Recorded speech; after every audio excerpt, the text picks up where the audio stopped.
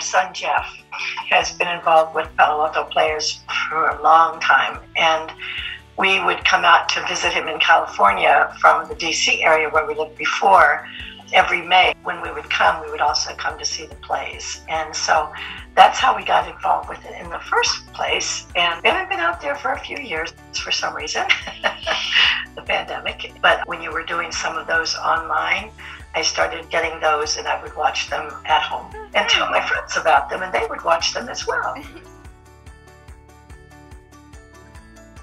One about Young Frankenstein Yes. was really good. Young Frankenstein was funny. really, really good. And Into the Woods, Camelot was good.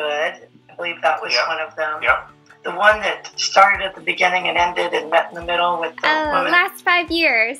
But that was really, really good. I really liked that one. That was um, really beautiful, U- unique, and the voices were just so beautiful. It was, it was really good. And like I said, I have a friend in Virginia that I shared the information with, and then she also bought tickets and watched it online. So I had friends that were also involved in doing it. The performances, the actors, the music, everything are so professional. They really are. It's like it's just really, really good.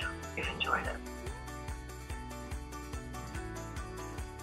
We- We knew from Jeff, you know, what a good organization it was and how much he enjoyed it and and that. And so we were kind of supporting it through our own enjoyment, but also supporting something that he really is involved in and really likes. So we will. We will continue to support Palo Alto players. We really enjoy it. And we hope you will join us in supporting Palo Alto. Yeah, there we go. Yes, there you are.